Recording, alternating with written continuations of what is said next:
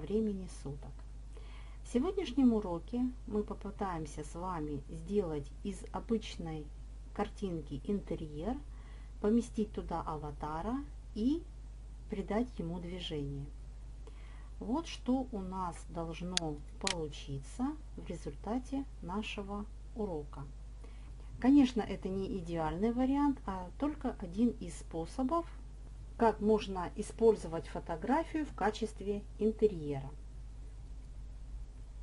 Итак, приступаем к работе. Прежде всего, нам нужно определиться с размерами видео, которое нам нужно. Предположим, мы хотим выставить его на YouTube. Тогда его параметры должны быть 1280 на 720 пикселей. Итак, у нас есть картинка, которая будет э, служить фоном нашего видео. Вот она. Я ее нашла в интернете. Теперь мы еще в фотошопе создаем файл с размерами 1280 на 720 пикселей.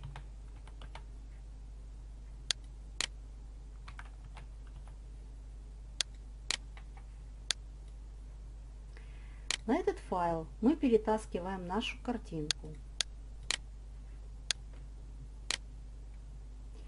И масштабируем ее с пропорциями так, чтобы у нас полностью был заполнен экран.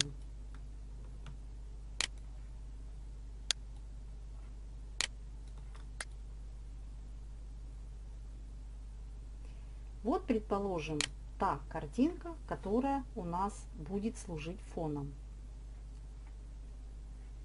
Чтобы наша девушка выходила из-за вот этой стены, давайте сделаем копию этой стены. Для этого берем инструмент ласса, применили трансформацию и начинаем выделять эту стену.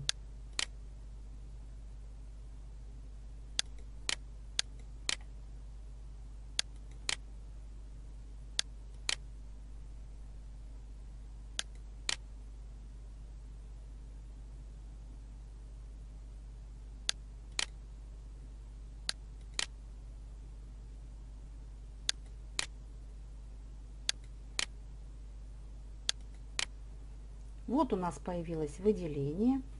Комбинации клавиш, которую вы видите на экране, мы делаем копию. Если мы отключим нижний слой, вот мы увидели, что у нас получилось. Теперь нам нужно два этих файла сохранить в отдельности.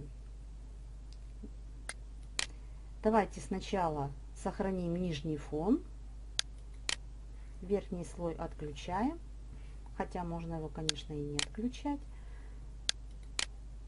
Сохраняем в отдельную папку с расширением PNG. Пусть это будет номер один. Так. И сохраняем второй файл.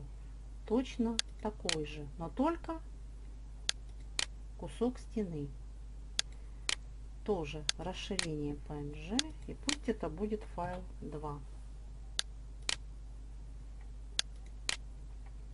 Итак, подготовительные работы у нас в фотошопе окончены. Теперь мы можем переходить в iClone. Итак, мы открыли программу iClone. Теперь сразу же выставляем в рендере настройки нашего видео. То есть вот они, 1200 на 720 пикселей. У нас изменилась рабочая область. Теперь я предлагаю немножечко повернуть нашу плоскость, так, чтобы нам удобно было работать. Вот примерно так. Теперь мы добавим на рабочую область аватар. В данном случае нам не важно, кто это будет, просто, ну вот пусть будет Гвини.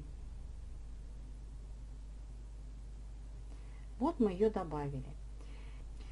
Сейчас мы добавим на нашу рабочую область интерьер. Заходим в настройки проекта. Ищем, где у нас фон. Вот он. И добавляем сюда наш интерьер. Теперь вот эту вот сетку мы немножечко поворачиваем, чтобы она была параллельно полу. И немножечко опустим вниз. Вот так. Гвини мы поставим чуть ближе и, наверное, выше. Вот она примерно вот тут будет у нас стоять. Наверное, все-таки поменьше ее поставим. Вот, вот так. И повернем. Вот из этой точки она у нас будет выходить. Теперь уберем сетку. А на передний план сейчас поставим плоскость, которая будет закрывать нашу девушку. Заходим в пропсы, ищем плоскости, вот они у нас, и вот есть плоскость, которая нам нужна с размерами 1280 на 720. Нам нужно ее поставить на передний план.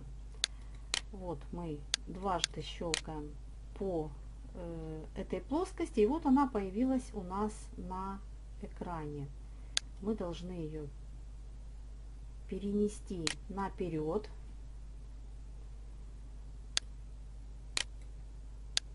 И выставить на весь экран.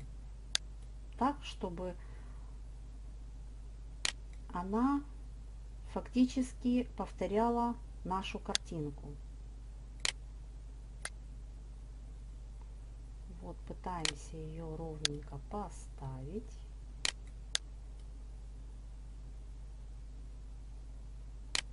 Немножко многовато. Ну вот сейчас посмотрим. И теперь накладываем на эту плоскость материал тот файл, который мы с вами сделали часть стены. Вот он. И вот вы видите, наша гвинь практически спряталась. Сейчас мы немножечко подвинем стену. Вот она. Вот практически то, что нам нужно. Тут можно немножечко, наверное, подрегулировать, немножечко поставить на место эту стену. Вот, чтобы она повторяла наш фон. Предположим, мы это сделали. Теперь нам нужно просто добавить движение нашему аватару. Мы заходим в контент, ищем нужные нам движения. Ну вот, к примеру, вот они у меня есть уже. Вот, допустим, она будет у нас идти. Старт. Смотрим. Вот видно, что она там идет. Давайте в этой точке мы передвинем ее так, чтобы она была видна. Вот, допустим, она сюда вышла и немножечко повернулась. А в этой точке мы добавим ей окончание движения. Вот.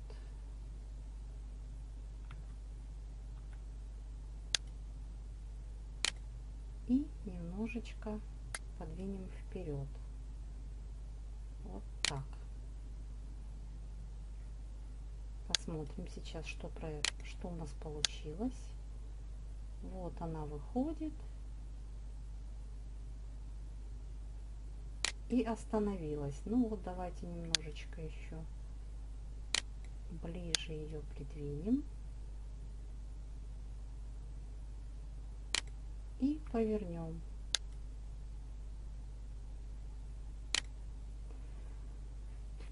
Давайте посмотрим, что у нас получилось. Вот она вышла. Ну и, в общем-то, можно так и оставить. Основная наша задача решена. Мы вывели аватара из-за стены. Все остальное уже детали. Можно будет дорабатывать ее движение, выставлять камеры. Можно убрать сетку пола, чтобы она нам не мешала. Вот еще раз просмотрим, что у нас теперь. Вот, хорошо. Итак, в сегодняшнем уроке мы с вами научились делать из фоновой картинки интерьер, поместили туда аватара и придали ему движение. На этом наш урок окончен. Всего доброго, до новых встреч!